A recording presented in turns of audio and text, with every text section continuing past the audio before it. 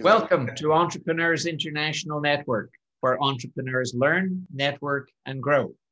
I'm Roger Killen, the organizer. Today, Bill Stainton is training us on how to monetize our creativity. Bill, I've got a few questions for you that will help us to get to know you at a personal level. why am I not surprised? Question number one What's the best piece of advice that you would give to new entrepreneurs? Oh wow, get a real job. No, no, no, no. That's not that's not the advice I would give. Uh, entrepreneurship is is fantastic. Um, Roger, are you taking the helm now with the admittance, or Yeah, I'm taking over the admittance. got it? Okay, so I can. No. Um, you know, here's a piece of advice that I, I don't hear too often, and um, I wish somebody given it to me, and that is to schedule time each week, each day if you can, but certainly each week. Just schedule time to think, because one of the things you probably understand, being an, an entrepreneur, solopreneur, micropreneur, is everything comes onto your plate. And you end up, I don't know if you've read the E Myth, uh, I think it's at Gerber, the, the E Myth. You end up working, you know, in the business rather than on the business. And the whirlwind's never going to stop. So you have to schedule time, schedule like an hour a week. Maybe it's on Friday afternoon, maybe it's Monday morning, whatever. Just to just to think you know strategize think about you know what's important as opposed to what's urgent But Bill, thinking is very hard work. think especially for people like me very small brained people yes thinking is very hard work but it is important Yes, it is. and if you want to build a business it's like going to the gym you know you've got to exercise that muscle you've got to you've got to think Now, the second question is one I have never asked before. So let's see how it goes. What, what do you secretly wish you could do for a living? Oh, wow. This is when I feel I'm supposed to say something really inspirational and altruistic, like, you know, I'd like to be a teacher or a, you know, a pediatric cardiologist or something like that. Um, uh, the truth is, I'd love to. I, I really would have loved to have been a rock drummer, A rock drummer. rock and roll drummer. Yeah, yeah. Music is my passion. Uh, so um, drums is my first instrument, and everything else is my second instrument. But um, yeah, I would have loved to played Madison Square Garden. You know, Is, is it still true that you are one of the world's recognized Beatles expert? it is. It is. I am a world recognized Beatles expert, which means that they know me in Vancouver. So that, so that's that's that's international. That, that that's internationally recognized. So by the way, so if any of you have any Beatles questions, that's not our topic today, although they were innovative. But if you have any any pressing Beatles questions, this is the time to ask them. I'm going to move on to my next question. How many of these do you have, Roger? I just have the, this is the last one. All right. What is your favorite past? Uh, what is your favorite pleasure? I thought we weren't going to discuss that online. Um, We're all adult adults here. You can Yeah. lay, lay it on us. my fa- All right, my favorite pleasure, I think, has got to be amazing conversation with my sister and brother-in-law over Manhattan's in the President's Bar at the University Club in Chicago. Did you want me to be more specific? Well, I'm curious as to why you would pick that as your favorite pleasure. Because we do it every single year except for last year uh, after Thanksgiving. Uh, we go there, and my brother in law is one of the world's foremost Beethoven experts. Um, and uh, my sister is an author, and they're both brilliant. And you give me enough Manhattans, and I can fake brilliance. So uh, it works out. Well, Bill, you'll be happy to know that those are three unusual answers. Thank you. You did you did not disappoint. Audience, No, that comes later. audience, would you type any questions you have into the chat? And during Bill's talk, I will uh, batch them and pose them to him so that by the end of his talk, all your questions have been answered. And can I just have, have a, a quick request for those of you who feel comfortable turning your cameras on? Please do. Uh, I understand that for some of you, you may be naked and that might not be something you want to do right now. But uh, if you're able to, uh, and if you feel comfortable with that, and again, we're all friends here. Please turn the cameras on because it'll it'll help. I like I like to be able to see who I'm talking with, if possible. Thank you. Uh, now, audience, you're going to be sent a link to the recording of this talk in a few hours. Uh, but nevertheless, I encourage you to still take notes because the very act of taking notes increases what you absorb by anywhere in the order of 30%. Bill, are you ready to wow us with your wisdom? I am, Roger, wow being a relative term. All right, I'm going to spotlight you. You are now spotlighted, and the show is now yours. Take it oh away. My goodness. That is a heavy responsibility, and the show is called How to Turn Creativity into Money, which is something that, as as uh, entrepreneurs, we hopefully are all interested in. Uh, hopefully, we're all interested in running a profitable business. So now, why is that important, though? Turning creativity into money, which is my definition of innovation. Why is that important? I'll tell you why. Because do you remember back? Do you remember back a long, long, long time ago? I'm talking like you know, 2019, long ago. Do you remember when the world, when the world looked like that? Everything was right. Everything worked. Everything was exactly where it should be. We knew how things worked, and the world was just, it was beautiful like that, right? Remember those days when everything with the world was just right? And then what happened? 2020 hit. And what happened? This happened.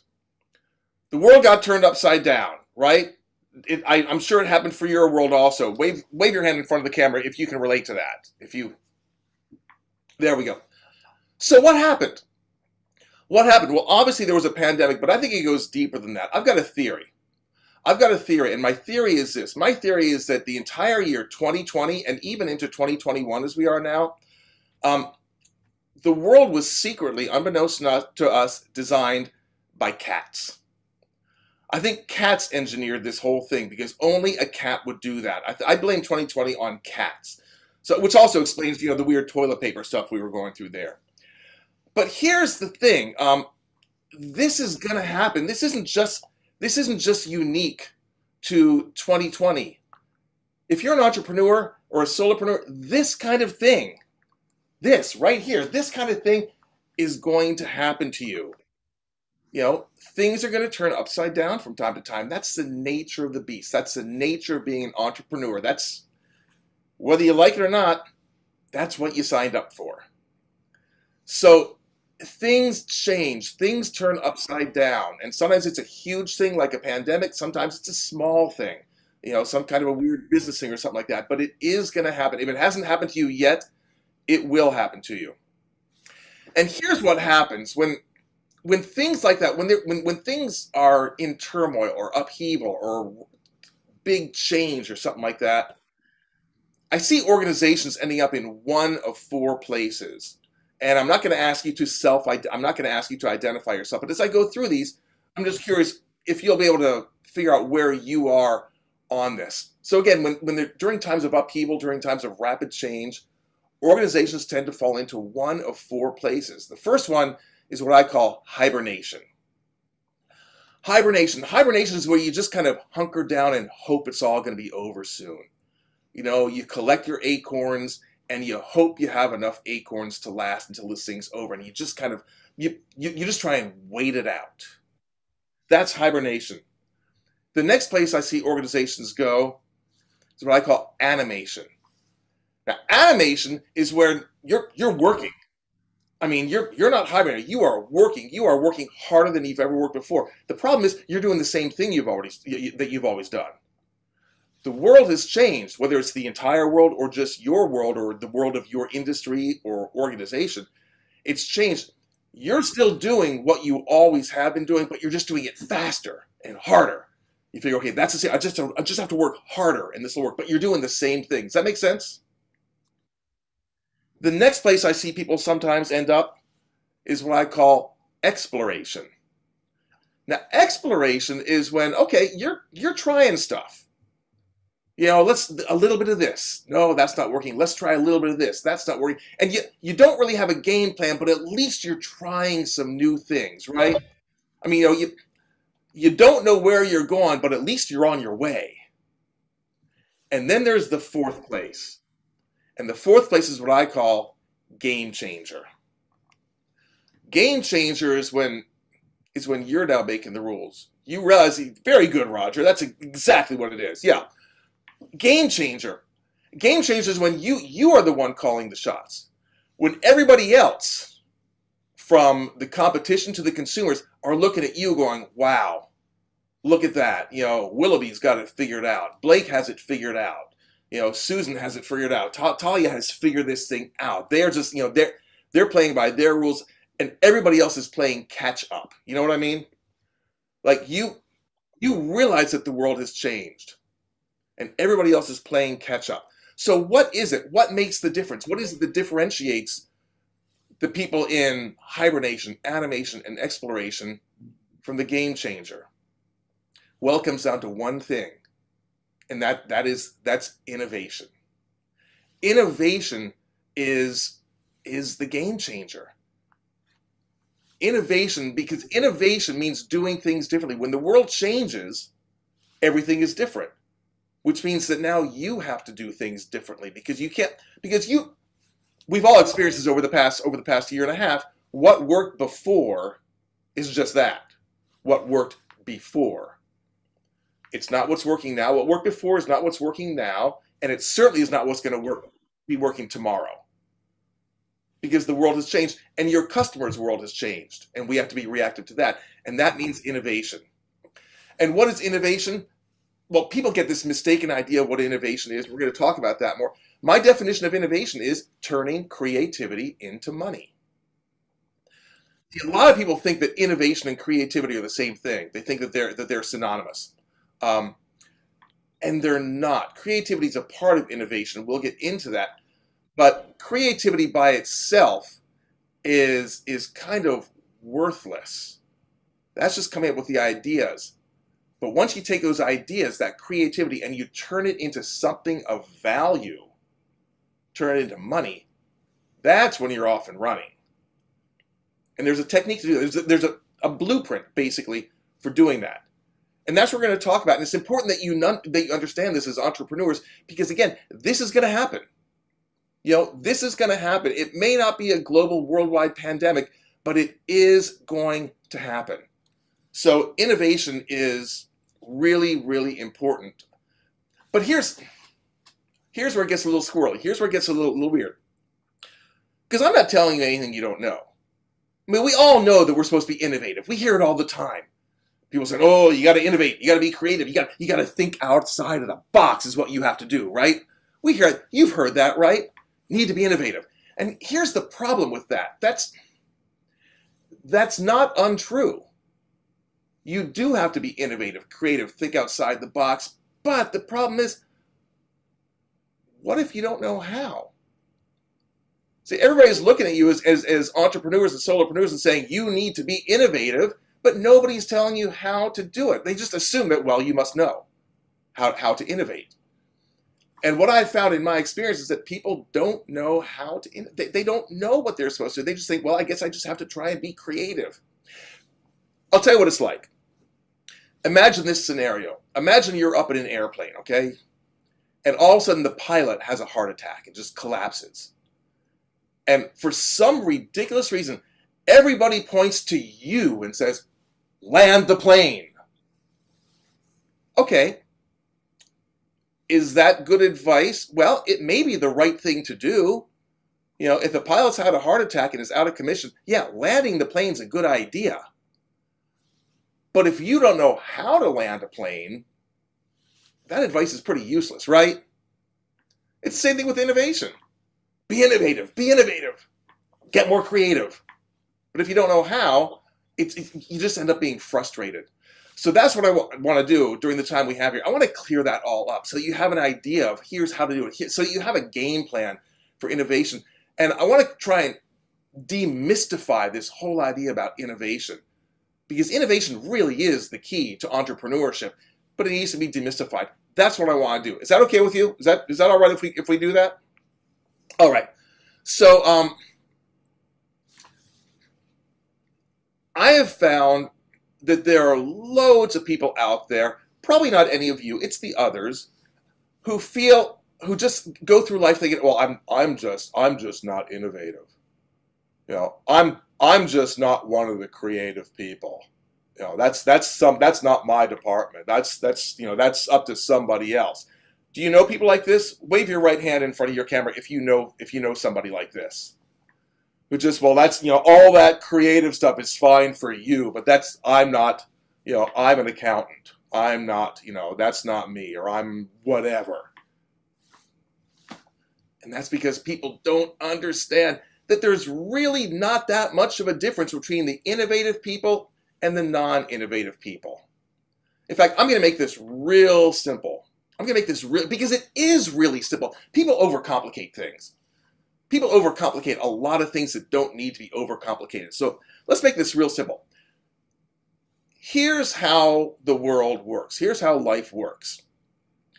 We're all walking along, just living our lives, just walking along day, day to day to day, right? We're walking along, and every now and then, every now and then, bam, we hit a brick wall, right? Now this brick wall, this this this brick wall can be anything. It can, it can be, you know, you get a flat tire on your way to an important meeting, uh, or it could be anything up to you know to a global, worldwide pandemic. But you know, we hit a brick wall, right? So we're walking through life we hit a brick wall, a major one, a minor one, and we have what I call a Homer Simpson moment.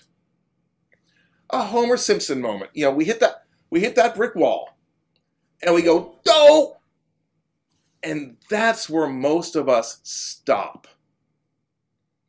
We have the Homer Simpson moment, and we stop. Oh, we may whine about it and complain about it, but basically we hit the brick wall, we have the Homer Simpson moment, and we stop. That's the majority of us. Here's what the innovator does the innovator does the exact same thing. The innovator, the breakthrough thinker, does the exact same thing. The, the breakthrough thinker and the innovator, they also walk through life, do de do de dum dum dum dum dum, and bam, they hit the brick wall of some sort. They have their Homer Simpson moment, but then they do one further thing, just one further thing that the rest of us don't do they ask a question. And the question is this How can this be better? That's it. That's the difference between the innovators and the rest of us. We have the Homer Simpson moment. We stop, we complain, and then we move on to the next thing. The innovator, the innovator, the breakthrough thinker hits that brick wall and stops and thinks what we talked about earlier and thinks, how can this be better? And when you think about it, isn't that really our job as entrepreneurs? To make things better for our customers, for whatever. And see, and and and let me clear something else. Uh, that, let me clear up something else. Also, he said syntactically and grammatically. Um, you'll notice that the Homer Simpson moment, I said it can be a big moment or a little moment, right? Which means that innovations can be little or big. That's another misconception people have. They feel like, well, if I if I'm not inventing the iPhone or the internet or the Tesla, I'm not really an innovator. It doesn't count. Have you run into that? Have you ever had that that thought or know people who do? There's, look, if I if it's if it's not a if it's not a game changing, world changing innovation, it doesn't count as an innovation. But when you think back, if innovation is only a search for the answer to the question, how can this be better? That means any size innovation counts. You're all innovators. If that's all it is, if it's hitting that Homer Simpson moment and then asking that question, how can it be better? Just nod your head for me. Can you do that? Is that something that you can do? I should be seeing a lot more heads nodding when you run into something, some kind of a brick wall or some sort, whether it's in your personal life or your professional life, you can ask that question, oh, I don't like this. How can I help make it better? And it can be little things as well as big things. Doesn't have to be the Tesla. Doesn't have to be the iPhone. I'll give you an example. Uh, seeing your faces, you are all too young to remember this, but prior to 2002, none of us, none of us had ever tasted ketchup. It's true.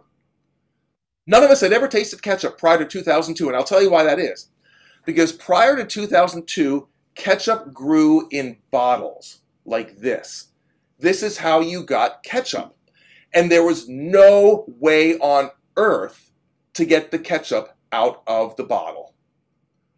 We tried. We tried we tried pounding on it. We tried this trick here. We tried shaking it, but it never worked. So none of us had ever tasted ketchup. We all had it, but mostly just as a color accent next to the rice in the in the pantry. You know, so so we, we had the ketchup. Prior to 2002, for, for 177 years, anytime somebody actually wanted ketchup, they had a Homer Simpson moment. And you've had them too, haven't you? Those of you who remember that. You've had it, it's like this little, oh, dough, right? And for 177 years, people had their Homer Simpson moment every time they tried to pour ketchup.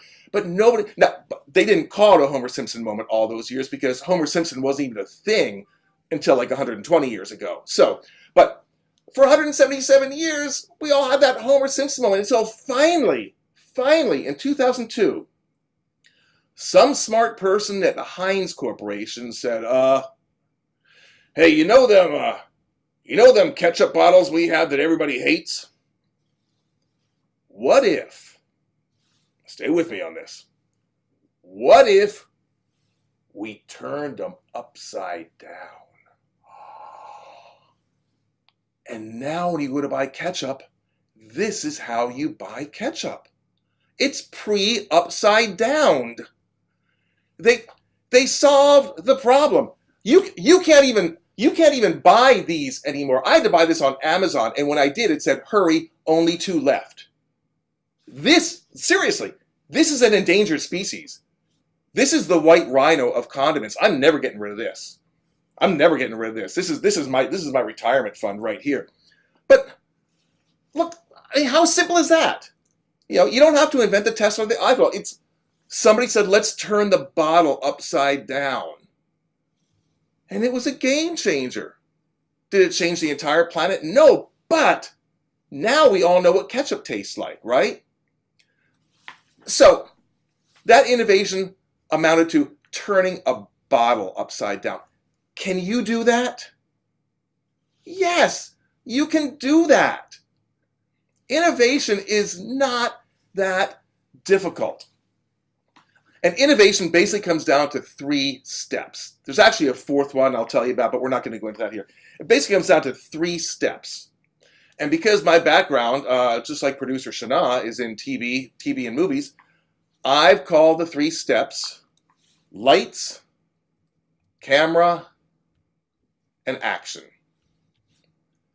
Lights, camera, action.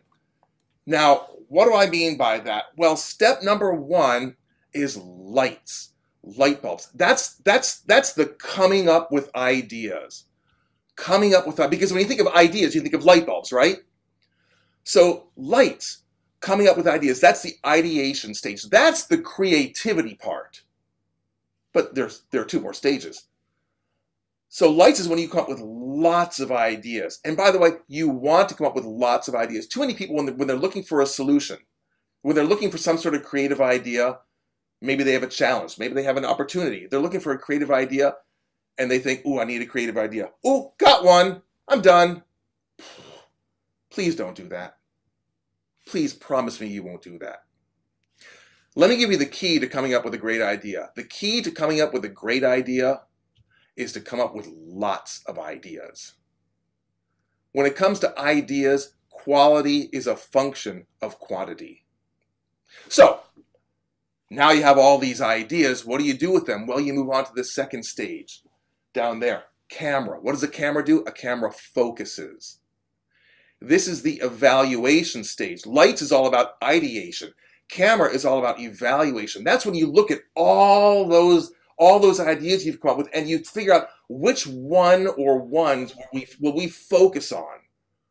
You know, which are the ones that we're actually going to move forward on? Which are the ones that actually are good and will move the needle for us?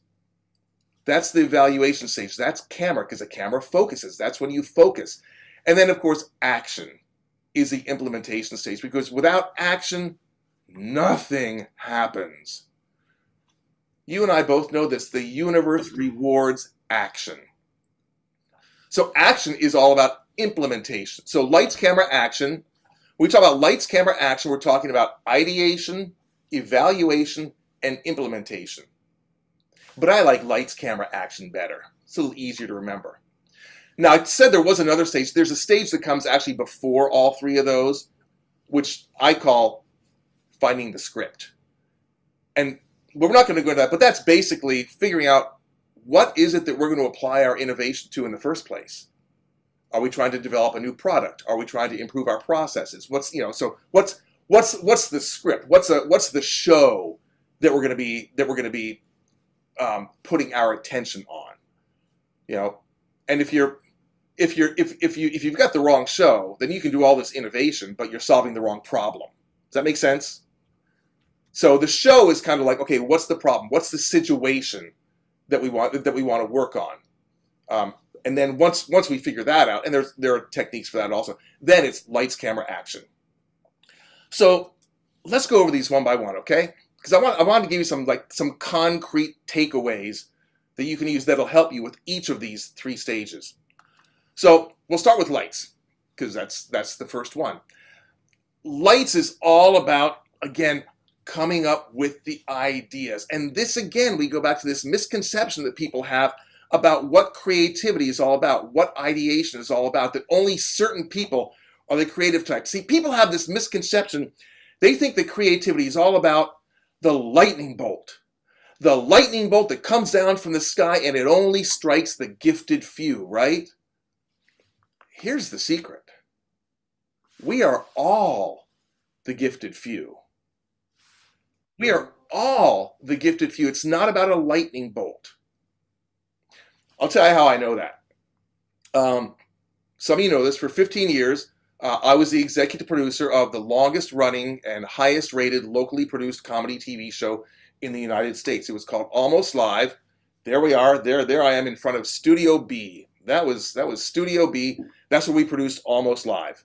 Um, for 15 years, my staff and I, our job, our job was to be creative on demand every week for 15 years.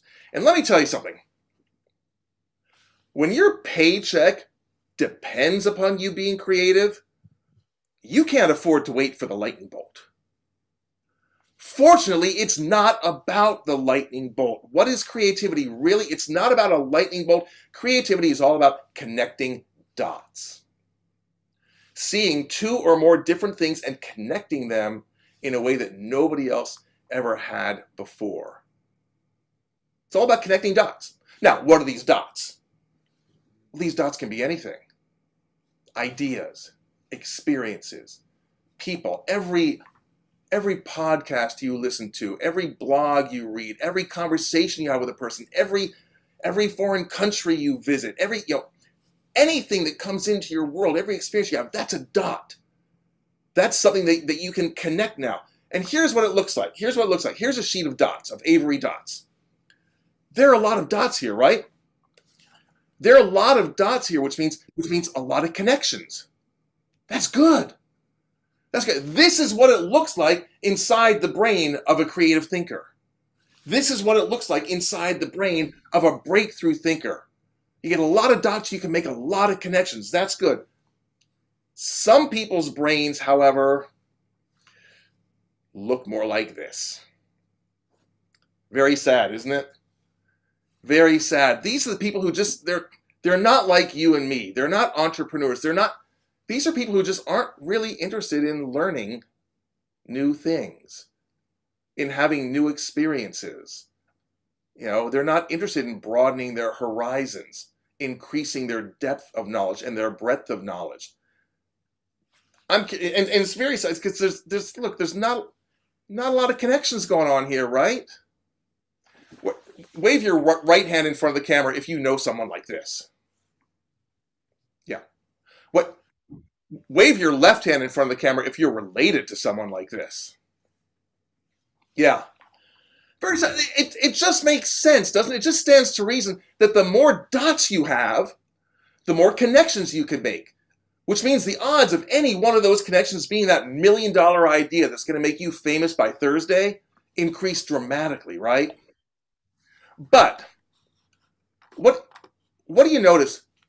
What do you notice about these dots? I'm curious. Type type into the chat. Type into the chat. What do you notice about these dots? Susan's got it. Very, very good. Anybody else? You should be able to because blue, blue and round. Roger, that's right. Very, um, very specific. Yeah, very close. to uniform, uniform. Okay, yeah, uniform. They're all the same, aren't they? They're all alike. They're all three-quarter inch navy blue dots. Now, if all of your dots are three-quarter inch navy blue, if all of your dots are like, if you only ever, if you only ever, ever listen to the same kinds of podcasts, if you only ever hang out with the same kinds of people, if you only ever watch the same news source, if you only ever read the same kinds of magazines or articles, you know, if all of your dots are three quarter inch navy navy blue, then most of your ideas are going to be three quarter inch navy blue, right? Not exactly breakthrough. And here's a further problem with that. If all your dots are three quarter inch navy blue, for example, if all of your dots are around your professional arena, like for example, mine's about around innovation. So yes, I do read a lot about innovation. I listen to a lot of things about innovation. But if that's all you listen to, chances are that's what your competition is listening to also. Your competition probably has the same dots that you have, the same three quarter inch navy blue dots.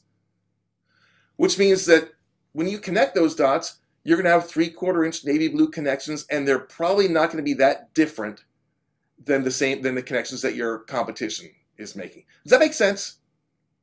But what if, what if, what if your dots look more like this? Oh, now we're talking. Now you start connecting these dots and there's no telling what color, what color your connections, your creative ideas might be. A, a blue dot and a yellow dot make a green idea. And what if these dots were also different sizes, different shapes? What if your dots, the ideas, the experiences, the people in your life were different colors, different sizes, different shapes, different beliefs? Can you see the difference that would make in both the quantity and the quality of your creative ideas? Can you see that? Nod your head if that makes sense to you. So it just it it makes sense as entrepreneurs. It makes sense to try and collect as different as many different colored dots as you can, right? Not just three quarters navy blue, as many different kind of dots as you can. Because here's the thing, you never know you never know which dot is the million dollar dot. You never know which seemingly unconnected dot is the missing piece to that puzzle. Does that make sense? But here's the thing. Most of us, most of us are not good at making connections because we're, we're out of practice. We used to be, we used to do it naturally. We used to do it all the time. We're not good at making connections. So I want to try a little activity here just to kind of get your brains into that into that space of making connections so you know what it feels like. I, I want you to know what, what the creative process actually feels like. I want you to get a sense of muscle memory about this. So we're going to do a little activity here. Uh, I got six words here. Okay, seven because litter box is two words, but we will count as one word, okay? I've got six words here. Um, uh, Blake, Blake McBride, I want you to choose one of these words and just type it into the uh, type it into the chat. Just whichever one you want.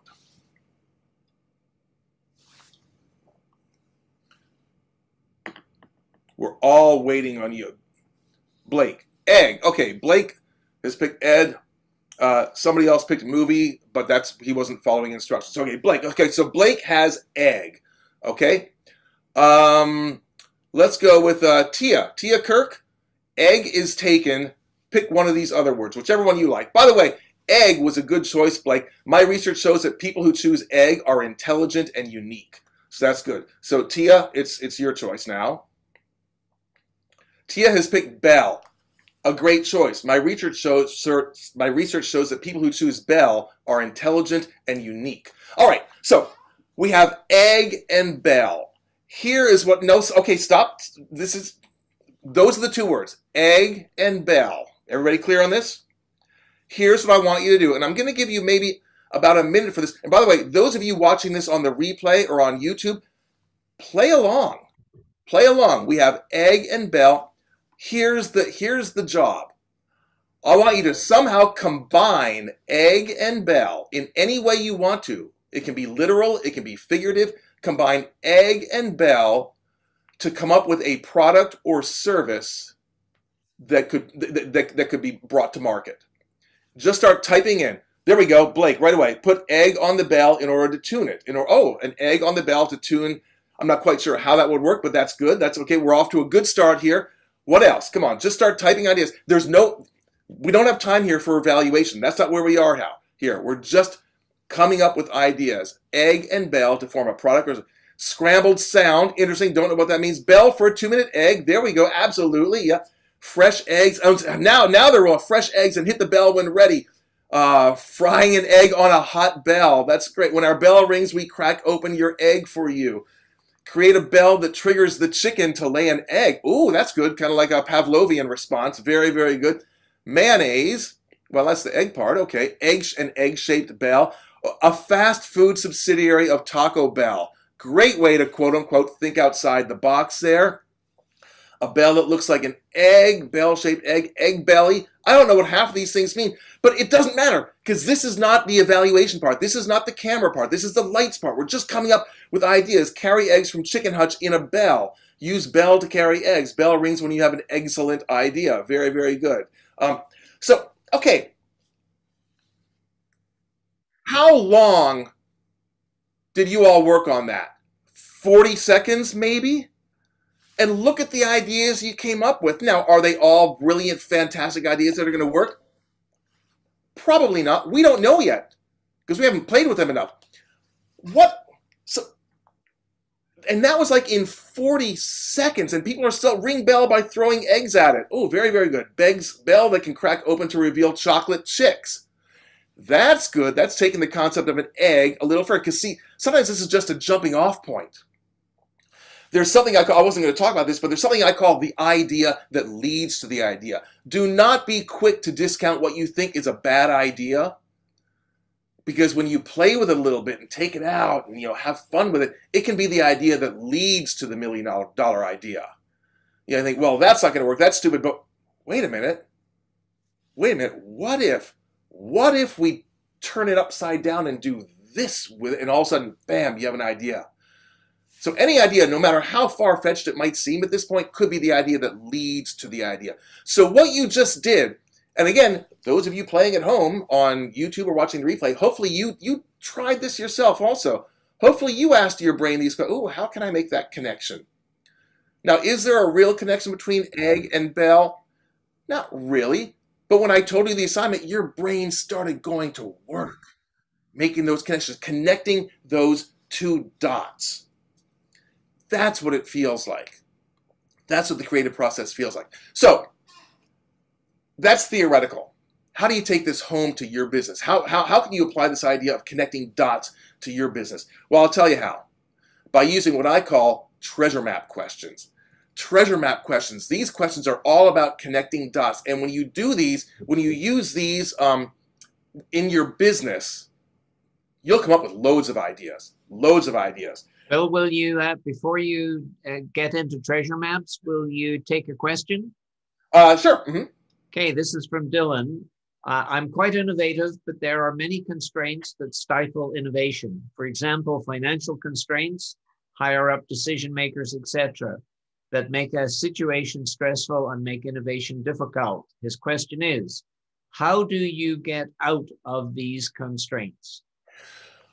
First of all, let's clear one thing. I, I, certainly understand what you're going through, Dylan. When I was producing my TV show, we had the same thing. I had budgetary concerns. I had staffing, you know, issues. We, you know, first of all, creativity and innovation actually love constraints. because constraints give you a focus. I always tell people if you're trying to solve a problem, if, if you're in the corporate world trying to solve a problem, throw at it a little less money and a little less time than is absolutely necessary. Because if there were no constraints, if you had all the budget, if you had, if, if you could just throw money at it, you would come up with non-innovative ideas. Constraints, first of all, they give you a focus for your creativity. I can prove that to you. Go up to anybody and say, I want you to write a story for me about one of two things. Either option A, anything you want, or option B, a duck that wears a hat. Most people are going to pick option B, a duck that wears a hat, because, ooh, ooh, now I can focus on something, right? So constraints are not necessarily a bad thing. Now, if they're if they're crippling constraints, then you just have to be more innovative. But innovation thrives on constraints. Look at what look at what the pandemic did. The pandemic was is was and still is one huge constraint, and people are innovating their businesses. They're reinventing their businesses. You know, none of us wanted this constraint. I certainly didn't. Just like Susan, my job was all about getting on airplanes and flying to rooms full of people sitting close together, right? This was not a constraint that I welcomed.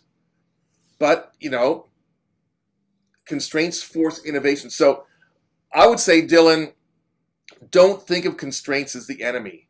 Think of constraints as the challenge. And anytime there is challenge, anytime there is challenge, there is opportunity. So I think it's it's a mindset shift, uh, Dylan, more than anything else. So I hope that's helpful. Um, if not, you know, you can you'll, you'll, you'll be able to get a, get a hold of me afterwards if you want to talk about some more. Okay, I'm going to move on with the treasure map questions because I got a bunch more stuff to cover. Um, treasure map questions. Here's what I want you to do. Whenever you're facing a situation in your in either in your personal life or your professional life, a problem, a challenge, an opportunity, I want you to try these treasure map questions. And here's what, and I call them treasure map because they lead to the treasure, they lead to the ideas. There are three of these questions.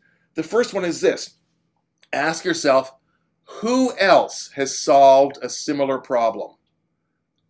Or, you know, solved a similar opportunity. And I don't mean who else in your in your world, who else in your industry. I mean look outside your industry.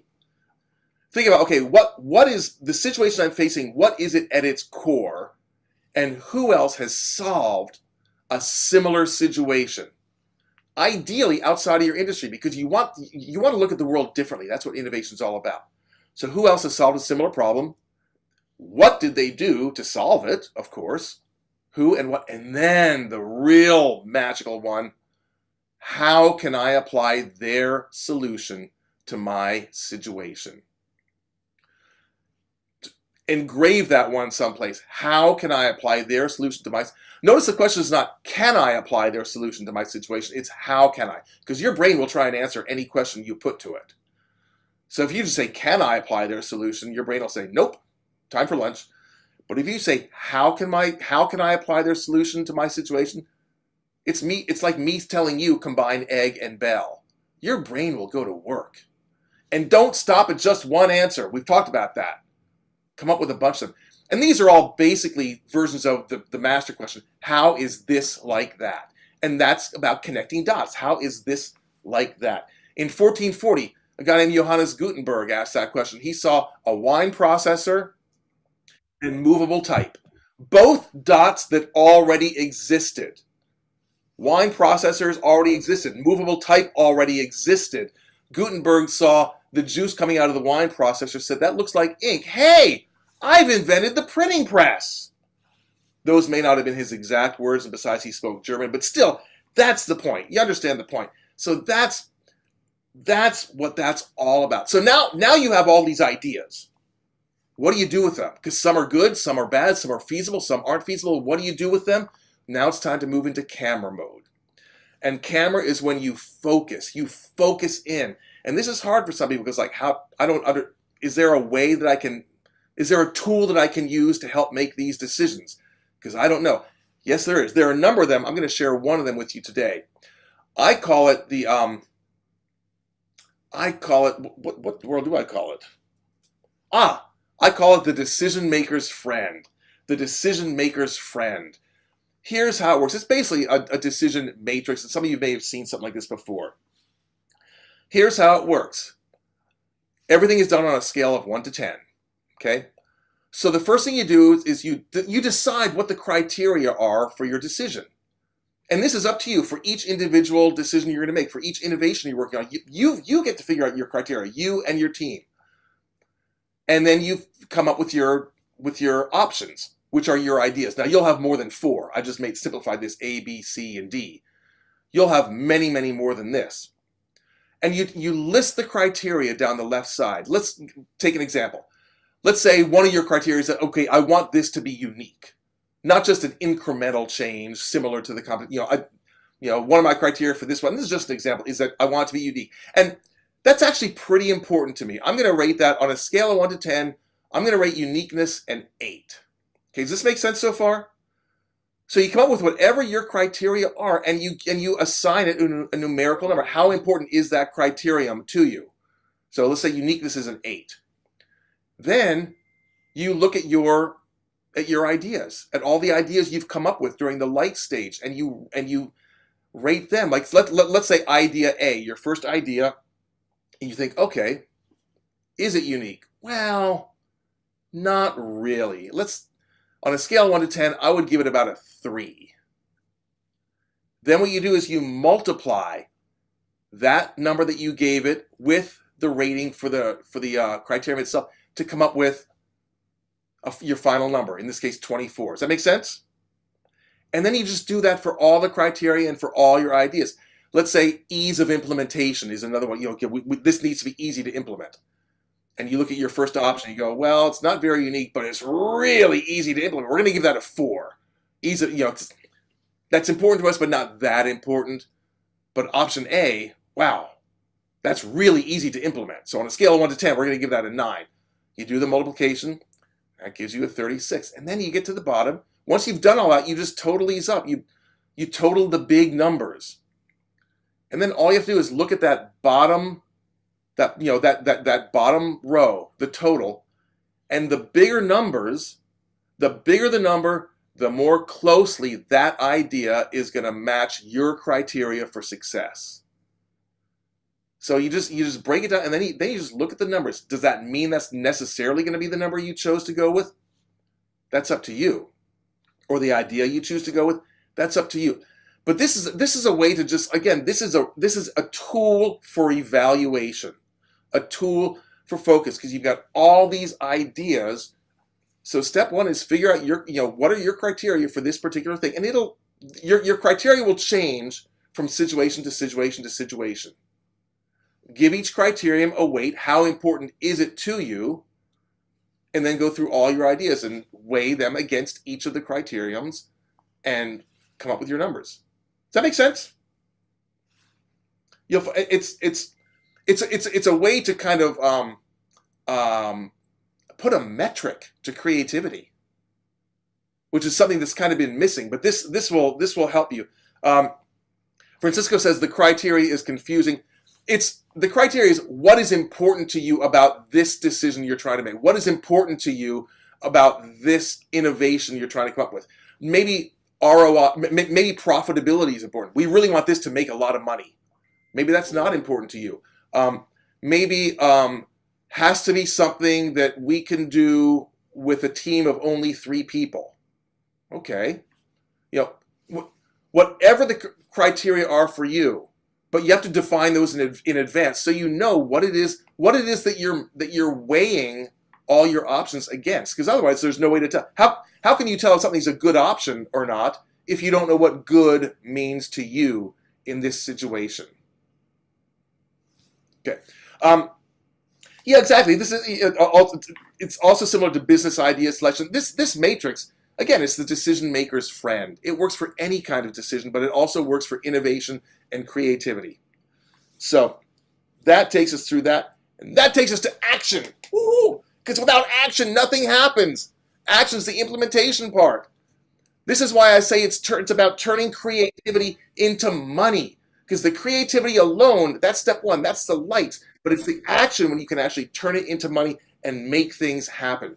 And I want you to think of it this way here's how you actually implement. And a lot of a lot of a lot of innovation um, plans fall flat because nobody knows how to implement.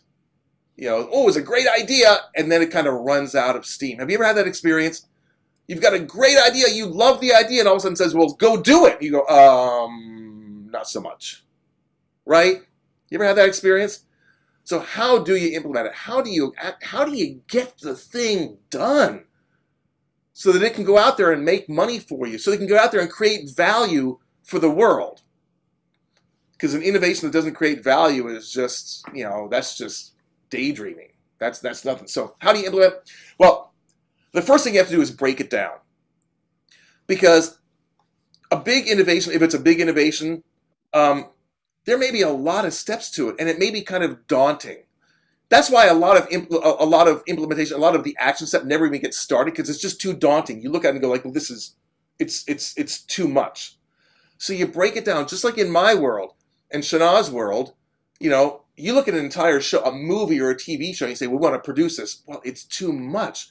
So what do we do? We break it down into a script, and a script is broken down into acts and scenes small, bite-sized portions that you can actually shoot and produce. You can't shoot an entire script in a day, in most cases, but you can shoot a scene in a day. Does that make sense? So you break, and again, this is not this is not mind-bogglingly new, but but we tend to forget about it. We tend to forget it. So you break down your project, break down your innovation initiative into okay, what are the steps? What needs to be done first, second, and third? And then what you do is you put them on. Here's this is the golden tool for an entrepreneur, and none of us use it well. Few of us use it well. A calendar. A calendar. Too many of us live out of our inbox as opposed to our calendar. You know, our email inbox, we wake up, we look at the inbox, and that determines our agenda. Your inbox is nothing more than a convenient storage space for other people's agenda. Your calendar, you control. Your inbox, they control. A calendar. What you need to do is for the things that are important for that when you break your when you break your initiative down into steps, into acts and scenes, you put them on a calendar. And you make an appointment for the important stuff. Do important stuff. The first question Roger asked me was, What advice would I give entrepreneurs? I said, Schedule time to think. Put it on your calendar. Make it an unbreakable appointment with yourself. Every Thursday from 9 until 10. I don't care when it is for you. It can be Saturday, Sunday, whatever. This is this is my this is an appointment. If somebody calls you and says, "Hey, can you?" No, sorry, I'm booked.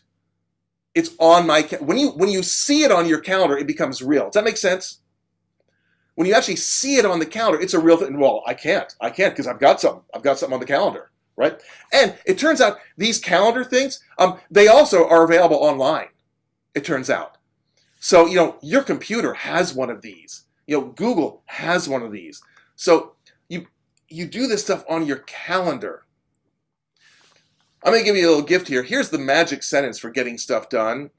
If you're one of those who just can't seem to get stuff done in your world, you know you've got a to-do list that's too long and you never get stuff done I'm going to give you the here's here's the magic sentence for getting stuff done. This is courtesy of a book called Atomic Habits by James Clear.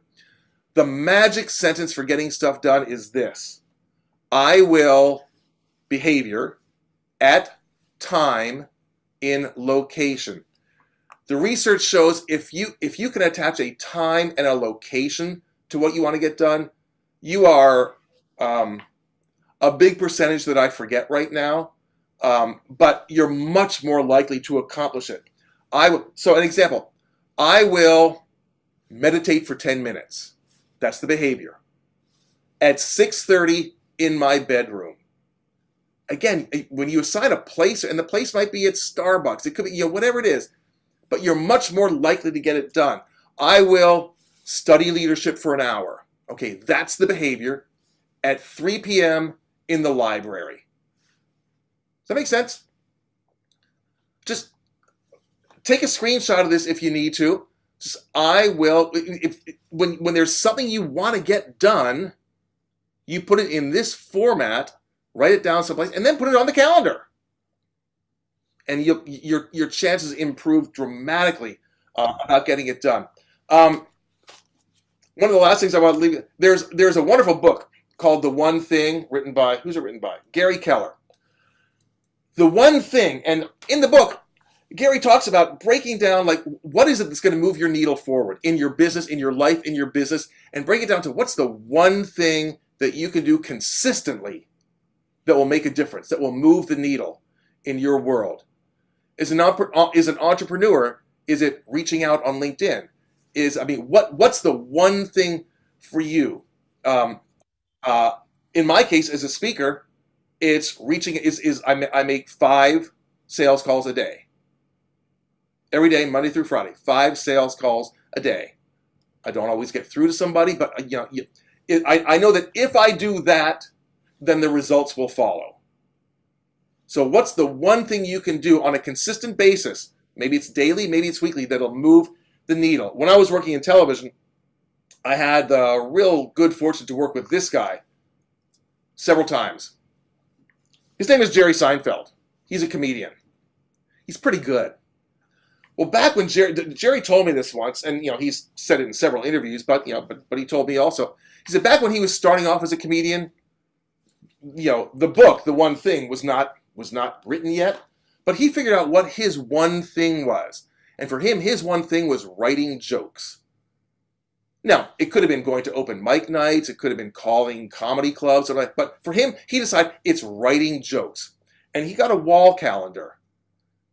And he still does this. And he, he checks off every day.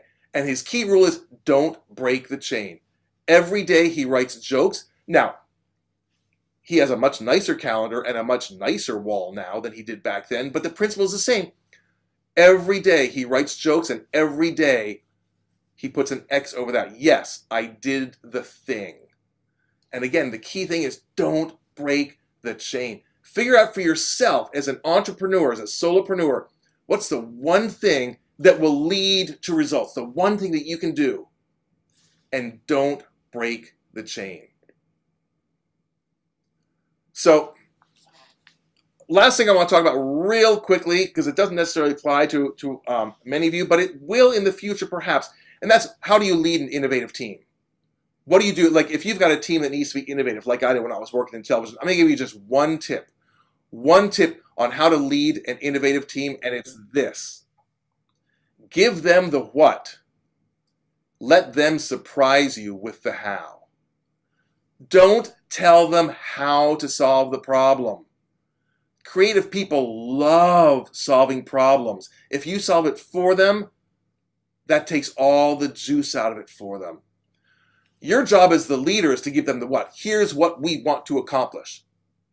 Now, you tell me how we should get there. Creative people love that. And they will surprise you with the how. They will come up with ideas that you never would have come up with. And a lot of those ideas will be better than anything that you could have possibly come up with. Look, this is going to happen in your world. If it hasn't happened yet as an entrepreneur, it will happen. Your world will turn upside down. Maybe it's a little thing, maybe it's a big thing. So what's the master key? What's what's the one thing, what's the one tool you can bring on bring when this happens when your world goes into upheaval? It's innovation. Hopefully now you have a little clearer idea of what innovation is and how to do it. We've given you some exercises, some activities, and some tools to innovate. When you learn how to innovate, well, that's how you turn creativity into money. Thank you so much for being with me today. Thank you so much for your attention. I really, really appreciate it. It was a blast seeing all of you. Thanks so much.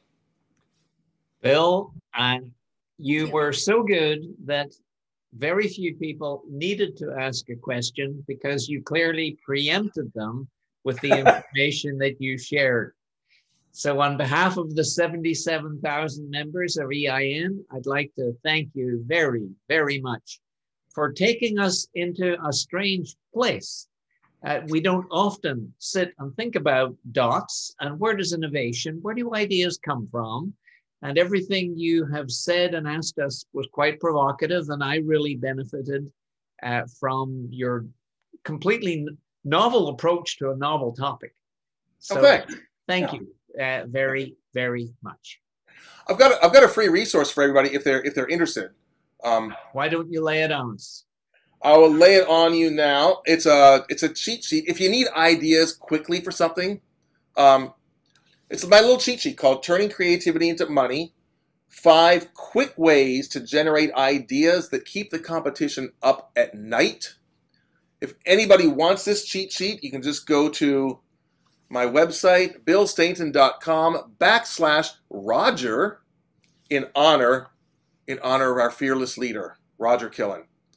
billstainton.com backslash Roger. You just enter your name and email, and you will have immediate access to Turning Creativity and Money, my cheat sheet five quick ways to generate ideas that keep the competition up at night.